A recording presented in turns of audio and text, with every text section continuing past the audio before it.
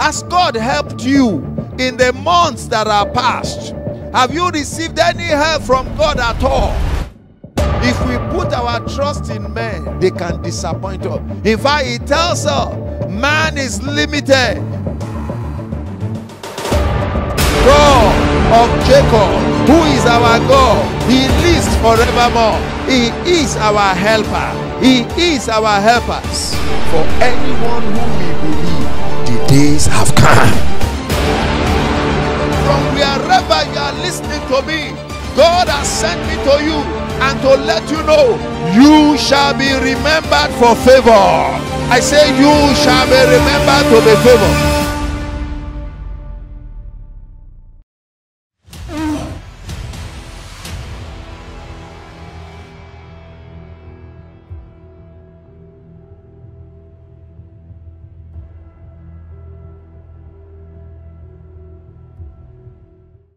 Let's thank Him because He's a good God.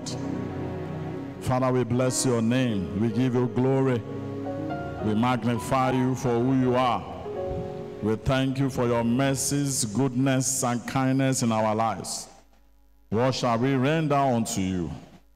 But to glorify you. Thank you so much, Heavenly Father. Blessed be your holy name. In the mighty name of Jesus. Let's take this song. Channel of my spirit, open up. I am with the Father.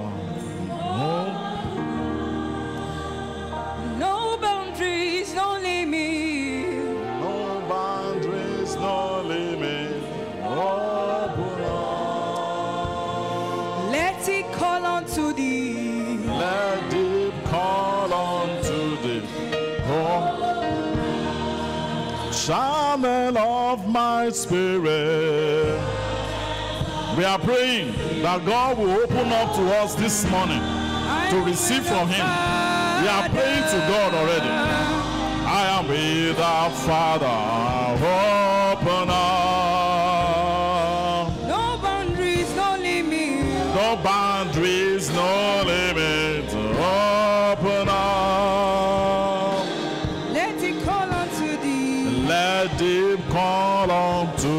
For the last time. Channel of my spirit. Channel of my spirit. Open up.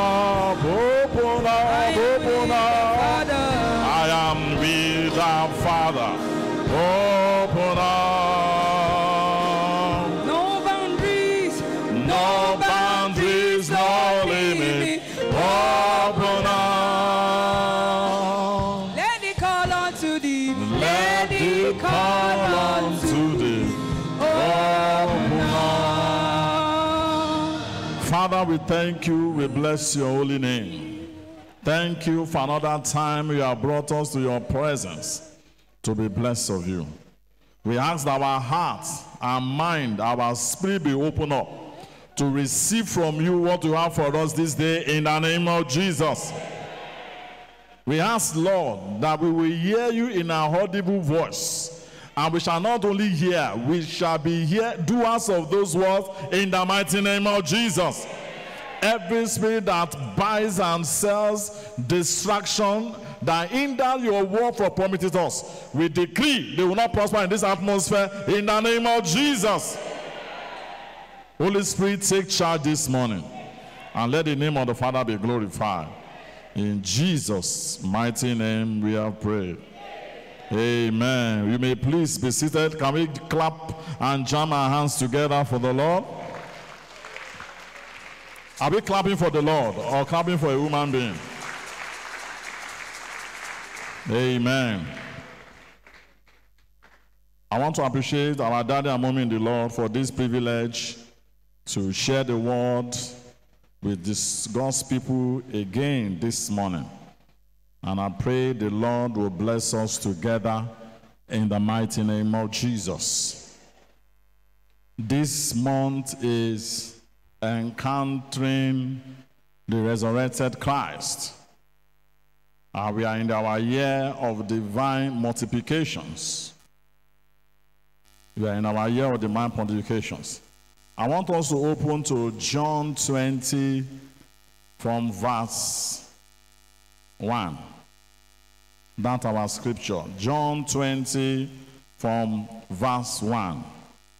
Now, the first day of the week, Mary Magdalene early, while it was yet dark, unto the sepulchre, and said his son had been taken away from the sepulchre. Can I have in the New King James Version?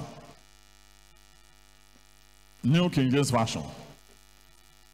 Then she ran and came to Simon Peter and to the other disciple whom Jesus loved and said to them, They have taken away the Lord out of the tomb, and we do not know where they have laid him.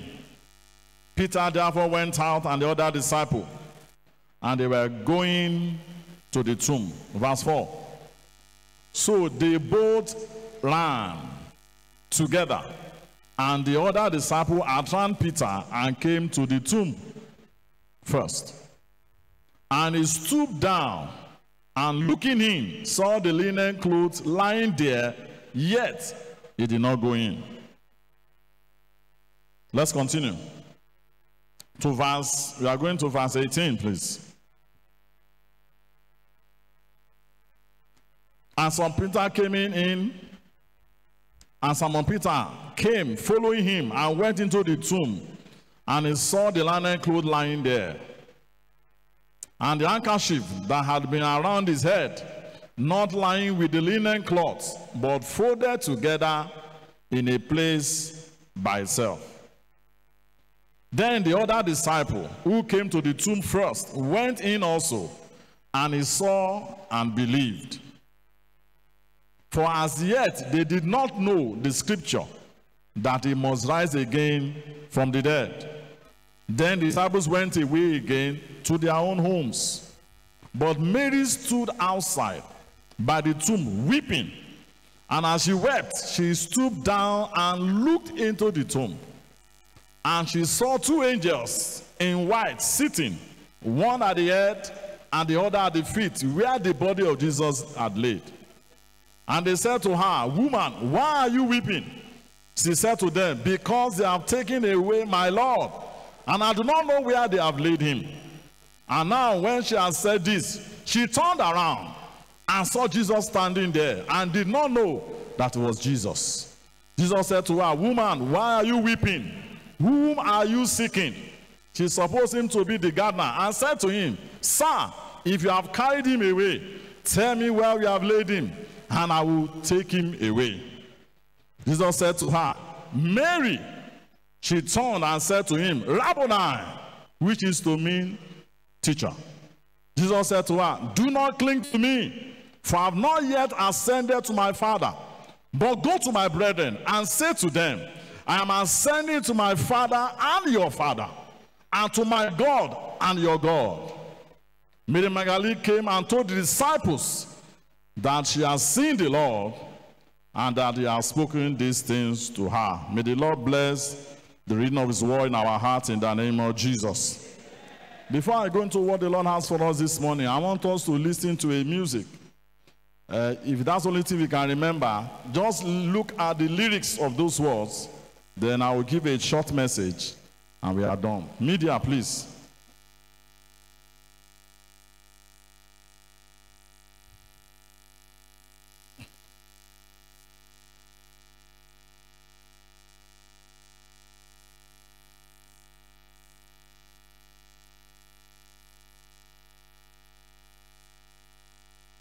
Media, we're waiting for you.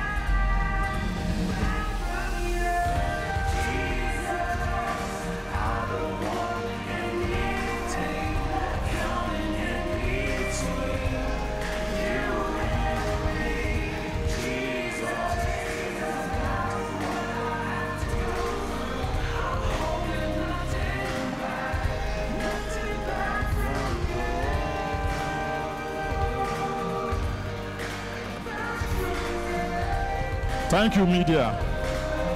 Praise the Lord. That song says, I don't want to hold.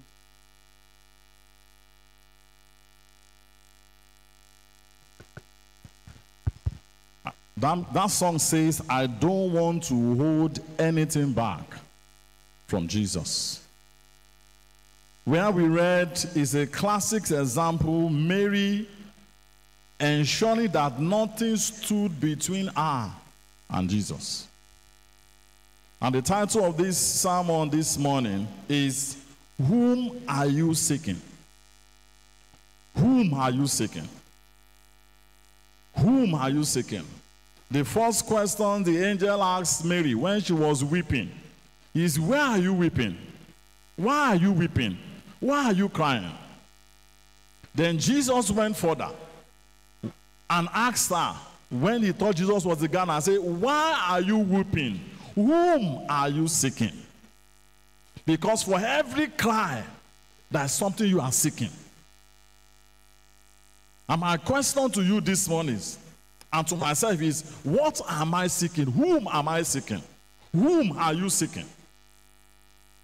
God has placed in every man a desire to seek something. There is a vacuum that God has placed in man. There's always this urge to seek. There's always this urge to look for something, to search for something, to pursue something. Is God has created in us. Unfortunately, after the fall of Adam, the default of man is to seek self, is to seek pleasure, is to seek gratification, is to seek recognition. Everything that came by the fall of Adam, the default is negative for man. Even when a new man is regenerated, when you get born again, it does not become automatic that you begin to seek God. That default is still there. It takes conscious effort. It takes the help of the Holy Spirit. It takes constant practice for you to begin to seek God and the things of God. So the question we are asking ourselves this morning, whom are you seeking? Jesus was the originator of that question. He asked Mary, who am you seeking? Whom are you seeking?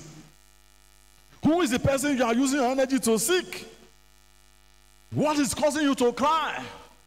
We are already in the fourth month of the year, and I know that in our place of prayer, we are crying to God. We are crying and weeping, some in their closet. But the question is, what are you weeping for? What is the source of your cry? Is it for the self seeking things? Is it for to get yourself pleasure? Is it to approve yourself? Is it to prove yourself worth? Is what you are seeking for. And to seek or seeking means to go in search, to look for, to pursue. Can you please ask your neighbor, whom are you seeking? Ask again that question. Whom are you seeking? Whom are you seeking? There's no one, either you are aware on, of it or not, you are seeking something. You can say, I'm not seeking anything. I'm just by myself. That may not be correct. That I'm by myself. I'm just on my own. No. There's something inwardly, internally that we are seeking. What the Bible says. He said, The heart of man is desperately wicked. Who can know it? You need to pause and ask yourself, Whom am I seeking? What is the cause of my pursuit? What is the energy I do day and night and labor? What was what is it for?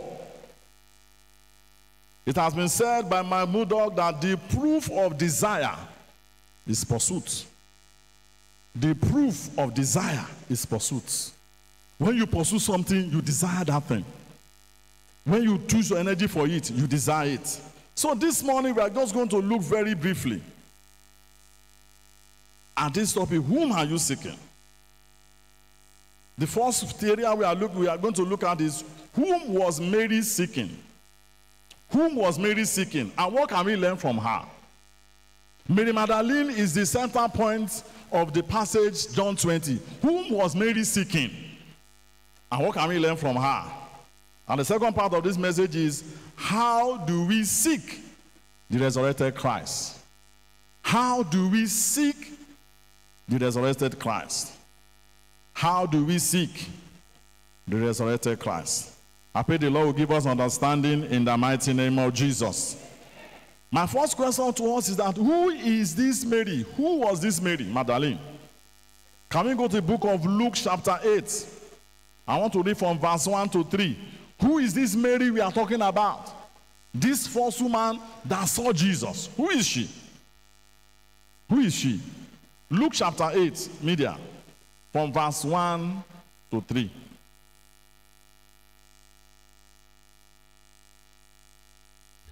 Now it came to pass afterward that he was talking about Jesus.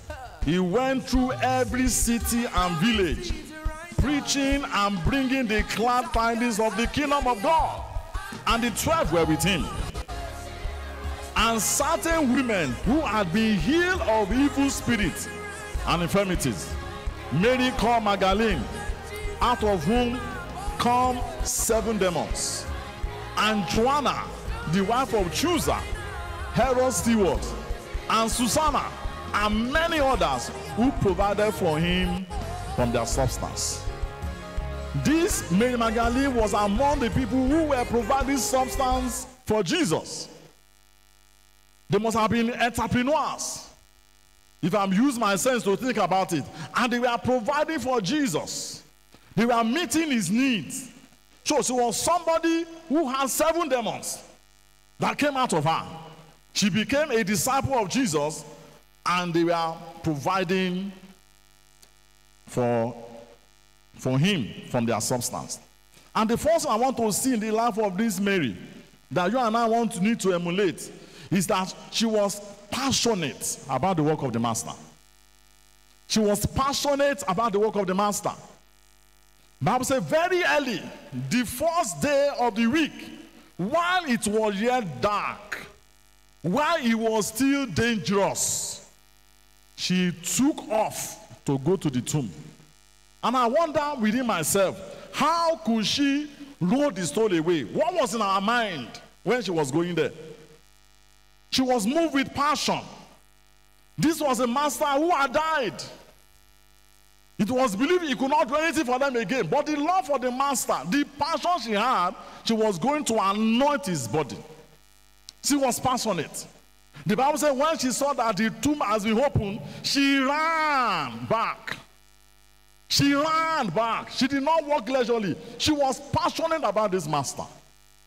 And the question I want to ask yourself and myself is how passionate are we about the master? Now that we even know that he has resurrected. What is our passion? In whom we are seeking. The Bible says in 1 Samuel 21, verse 8, it says, The king's business require haste. The king's business require haste. More so, we are in the last days. The signs of the last days are with us. How should we be passionate about the things of God, about the work of God? She was a very passionate woman. And I pray that that passion that she has, we shall emulate it in the mighty name of Jesus. The second thing I saw in her life, very quickly, she risked her life for the master's sake. She risked her life for the master's sake.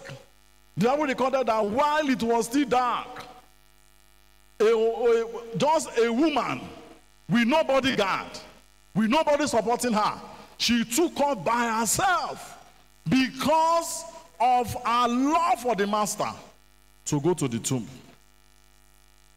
She took off. She risked her life. The Bible says in Matthew chapter 16, verse 25, and I read from the Amplified Version. He said, For whosoever is bent on saving his life, having his comfort and security here, shall lose it.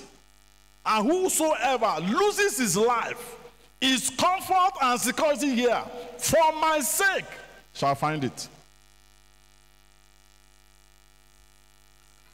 Jesus was the one speaking here. Whosoever desires to save his life, will lose it. Whoever desires to lose his life, we save it. I'm not saying here that we should be, we should walk into danger or should not calculate the risks that's involved in doing something. But what about the risks that God wants us to take on his behalf? Are we willing to take those risks? What are the risks he wants you to take on his behalf? Are you willing to take that and say, No, it's too dangerous. I can't do it? What about our brothers who are in the corners? Where people are being killed. They will not because of that relocate. Some have been given the assignment to be there and they are risking their life day and night. What risk have you taken in your comfort zone where you are now? are? What is the risk that we are ready to take for the master's sake? This woman took risk, great risk, because of the master. The Lord will give us grace in the mighty name of Jesus. What see in our life again that we can learn from. She desired to be with the Lord Jesus. She desired to be with the Lord Jesus. Even when she knew that Jesus was dead, she was going to the tomb to pour spices on his body. She desired to be with him. When she saw the tomb was open, she ran back. And the disciples also ran with her. And they came and they left her and they saw that the story she told was true. She stood there again, weeping and crying, and said, I desire to be with my Lord. I need to see him. She told the man who was Jesus, who she was a Ghana, he said, Wherever you have put him, I'm ready to carry him. It means if they are taking Jesus' body somewhere, she was ready to carry the body of Jesus. You know how dead body can be heavy. She was willing to take that price because of Jesus. That was the desire, that was an inner desire to be in the Lord's presence. I ask you, how do you desire to be in the Lord's presence? This issue of the uh, COVID 19 has brought us to be going online. You know, when pastors will ask me sometimes, they say, We didn't see you in church. I say, I'm online. But I tell you, by the beginning of this year, God started telling me online is not the same with the people who are there physically. It is not. I'm not here to convince you. But God will convince you himself. I said, what you think you are getting online cannot be compared to what you are there physically. That's why I had to retrace my step. That's a desire to be in the presence of the Lord. What is that desire? So the psalmist said, I'm happy when they say, Let's go to the house of the Lord. Why is it so difficult for us to come and stay in His presence? Why are we in a hurry to go? What are we going to do? What are we seeking? Who are we seeking that we want to go and rush out of His presence and not get the full benefit of what we can receive from His presence? What is that desire in our heart? To always be in the Lord's presence. Bible says, in the presence of the Lord, there is fullness of joy. There is fullness of joy. And that joy shall be our portion in the mighty name of Jesus. What do I say also in our life? She heard and recognized the voice of Jesus. She, she heard and recognized the voice of Jesus. When he told Jesus was a gardener, he asked him, If you have taken him away, sir, please just tell me where he is. I will go and carry him. I'm ready to take him and bring him to where he's supposed to be. He now called her and said, Mary. He recognized the voice of Jesus. And said, Rabboni. I tell you, my brothers and sisters, if Jesus calls your name, we recognize him. And sometimes you have been calling us. He has been calling us, and we are not hearing. He said, My son, I want you to do this for me. My daughter, I want you to do this for me. We cannot hear him. Mary was able to recognize the voice of Jesus because she enjoyed his presence. He said, Rabboni, teacher. He recognized his voice. Jesus was saying in John 10 27, He said, My sheep, they hear my voice. I know them and they follow me. The question is Are you hearing the voice of Jesus? Even when you hear, what do you do about it? My sheep, they hear my voice. I know them and they follow me. The Lord will give us the grace to hear his voice in the name of Jesus. For us as believers, we must know how God speaks to us. That cannot be overemphasized. We must know how God speaks to us. He speaks to us through His word. He speaks to us through inner witness. That's the way He speaks to us. In everyday life.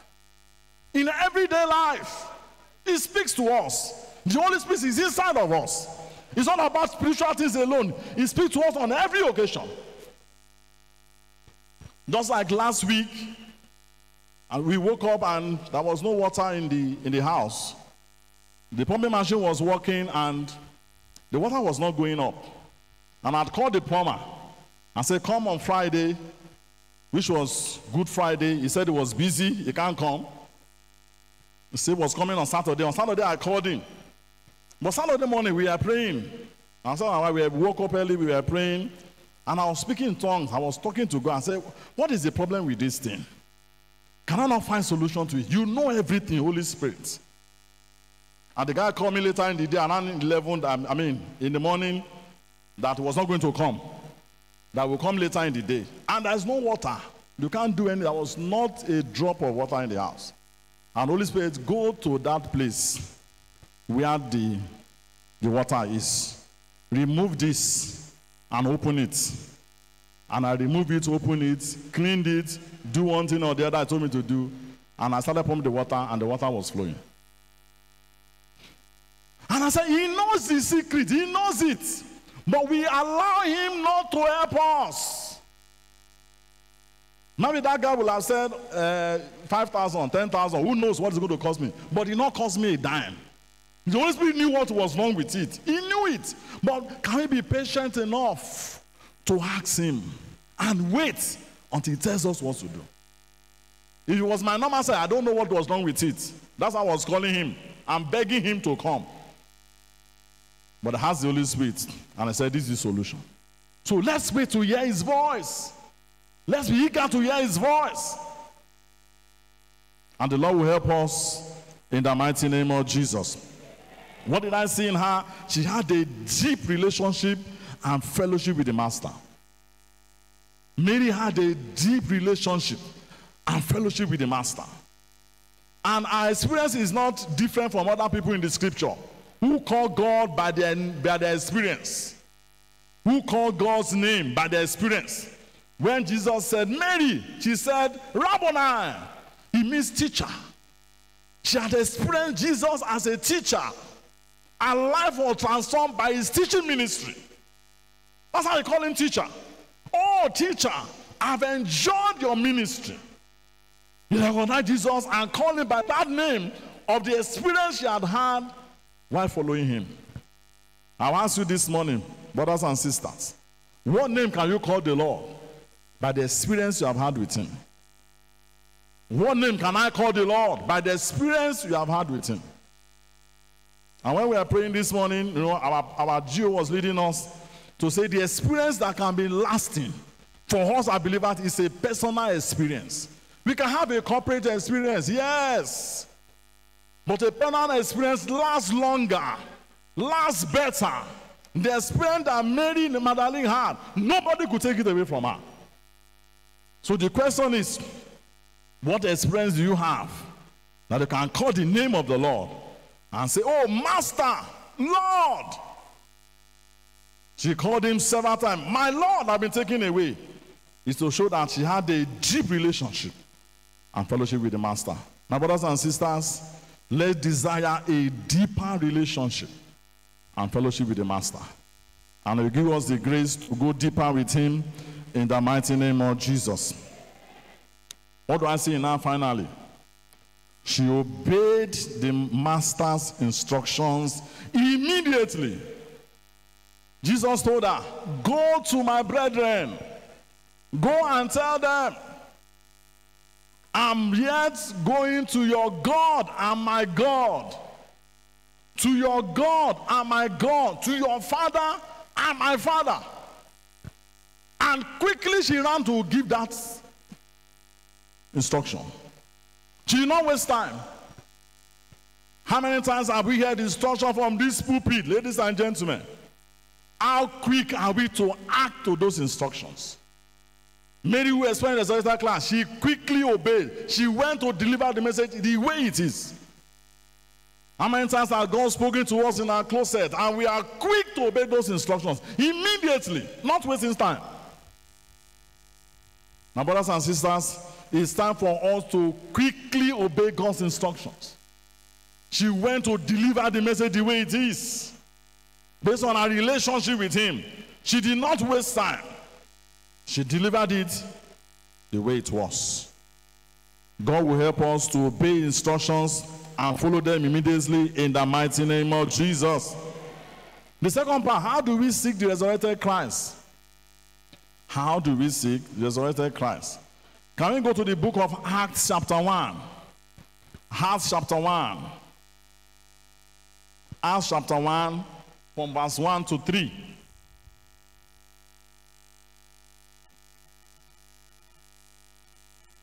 Acts chapter 1.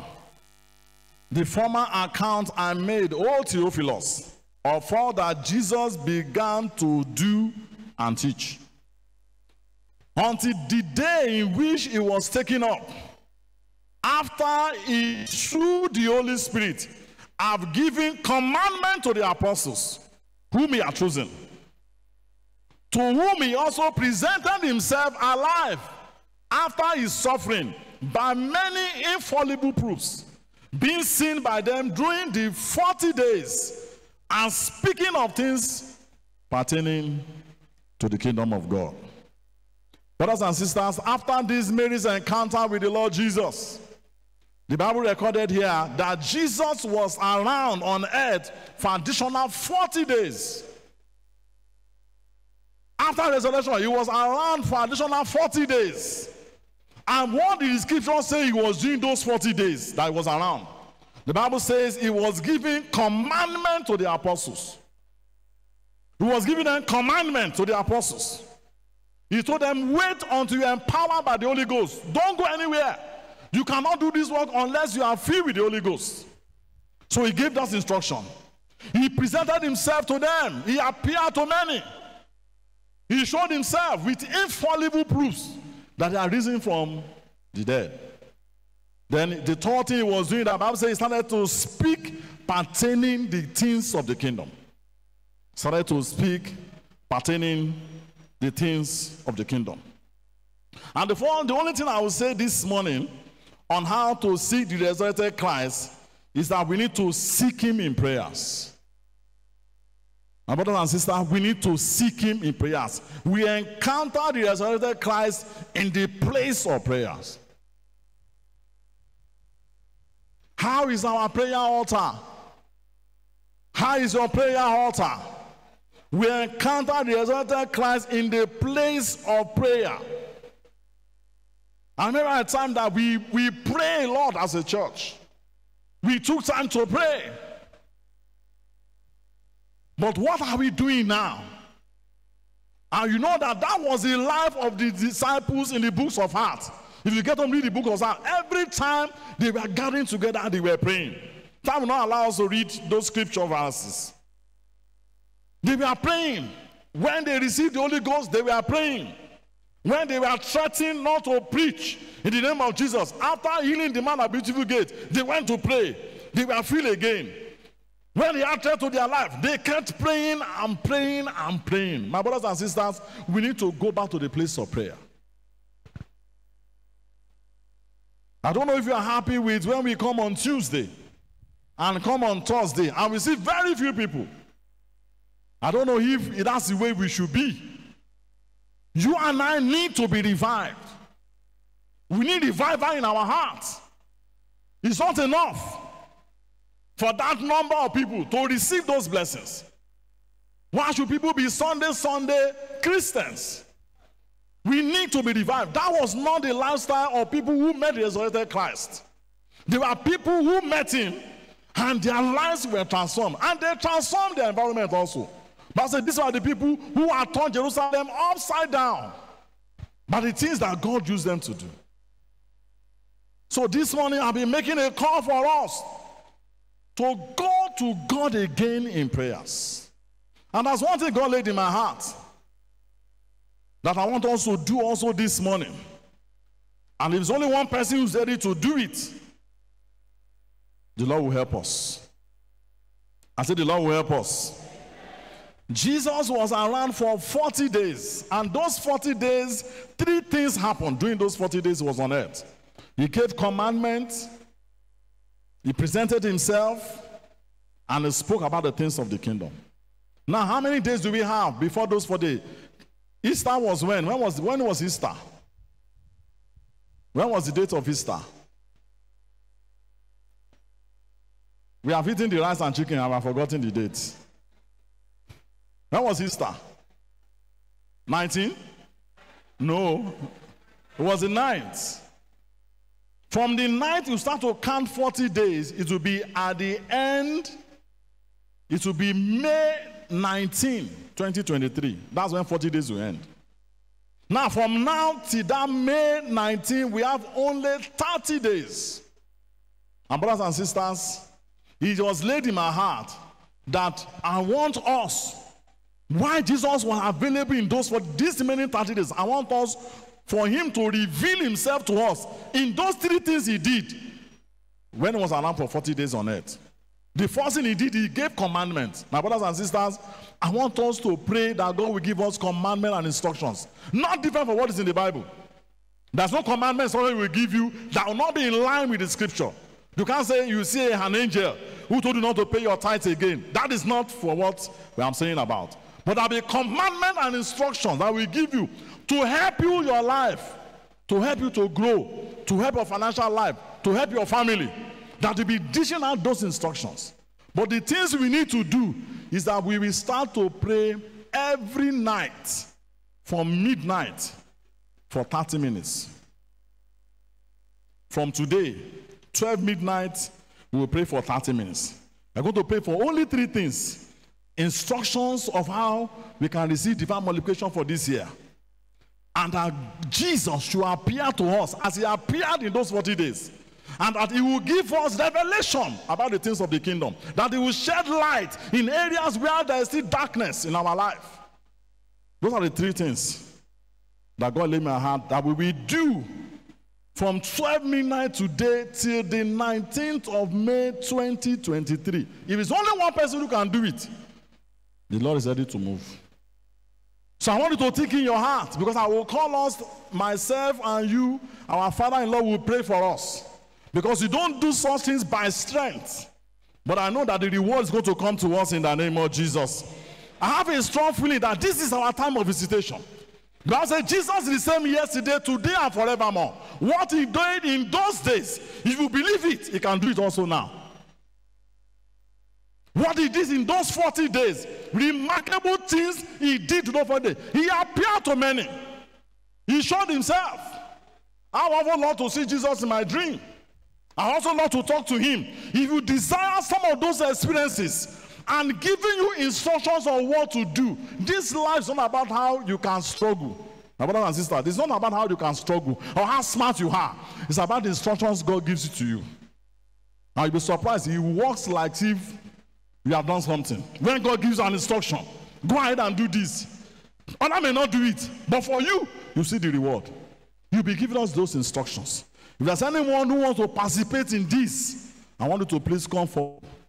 You want to be, devote yourself to prayers for a revival of the church and focusing on those three things every day, midnight, for the next 30 days. The Lord wants us to do it. If you are here, you want to be part of it, please come forward. My message is, has come to a close. If it's only one person, for 30 days, 12 midnight, just for 30 minutes. 30 minutes. Is there anything that will be too strong to come in between us and God? 30 minutes. 30 minutes. 30 minutes. We'll be asking for a reviver, a reviver in our lives, a reviver in our church, a reviver of our hearts. If our heart is becoming cold and dead, that God should revive it again. And I believe strongly that God has laid in my heart that He will do those great things He did in those 40 days. He will do it in our lives again. In the mighty name of Jesus. Please think very well. 12 midnight, from now till 19, just 30 minutes. I will be, I will be praying and say, God, give me instructions on how to receive my divine multiplication this year. Give me instruction.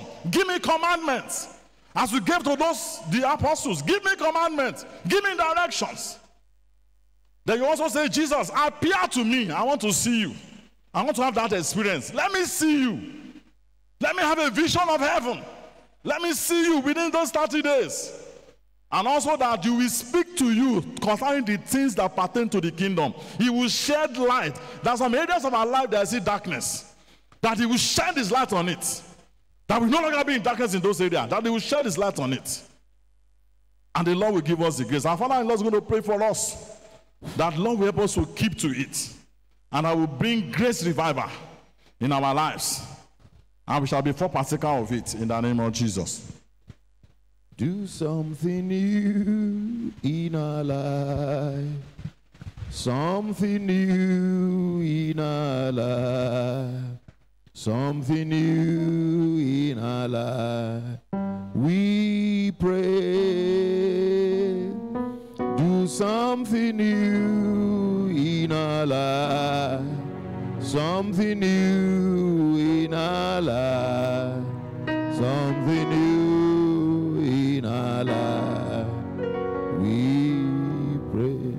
something new. Do something new in our church. Something new in our church. Something new in our church. We pray. Do something new in our church. Something new in our church. Something new in our church. We one more time let us sing. Do something new in our midst. Something new in our midst. Something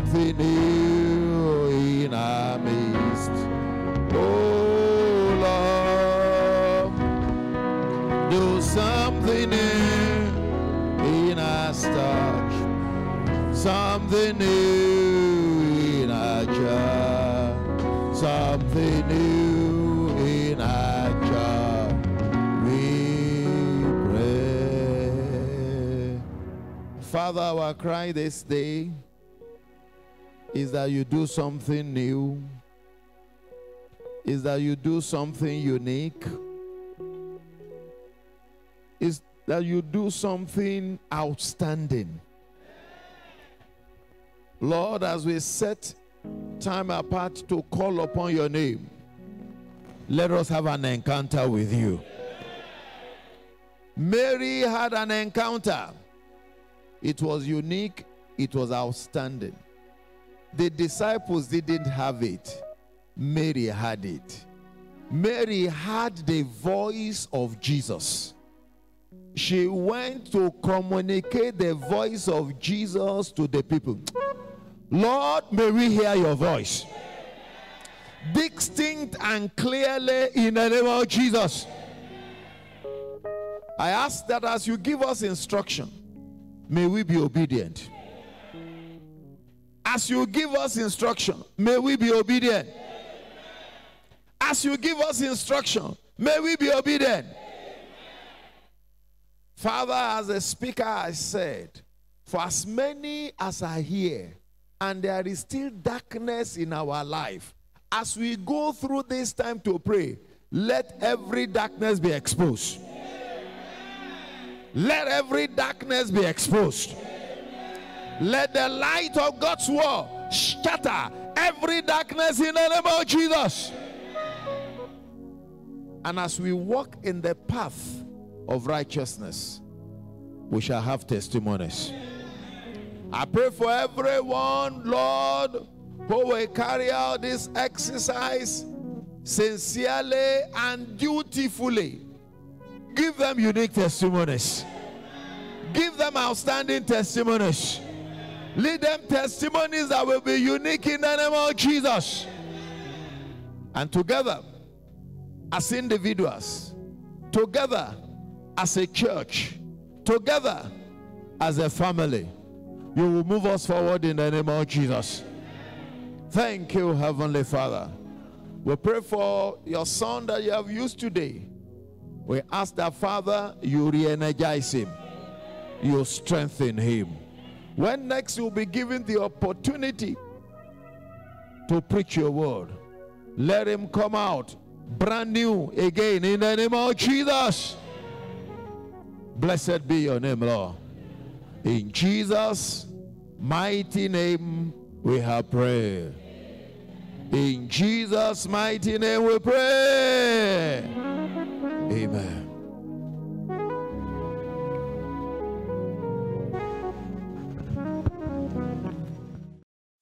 Are you connected to the online church of the unlimited people?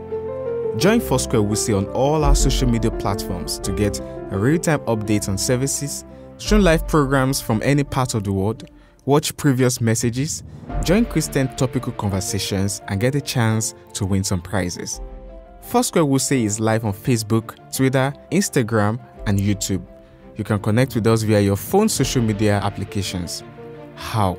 Select Facebook app on your phone app list and search for Foursquare Wuse. Open it and click on like. For Twitter, select Twitter app, search for Foursquare Wuse, open it and click on follow. For Instagram, select Instagram app, search for Foursquare Wuse, open it and click on follow. And for YouTube, select YouTube app on your phone, search for Foursquare Wuse, open it and click on subscribe. If you don't have any of these apps on your phone, go to your Play Store for Android devices or go to your Apple Store for iOS devices. Search for any of these social media apps and install them. After installation, you will need to log in with your app account username and password. And if you don't have an account with them yet, you will need to register. Click on Create an account and fill in your basic information and get connected. Foursquare Gospel Church Wuse, We are the assembly of the unlimited people.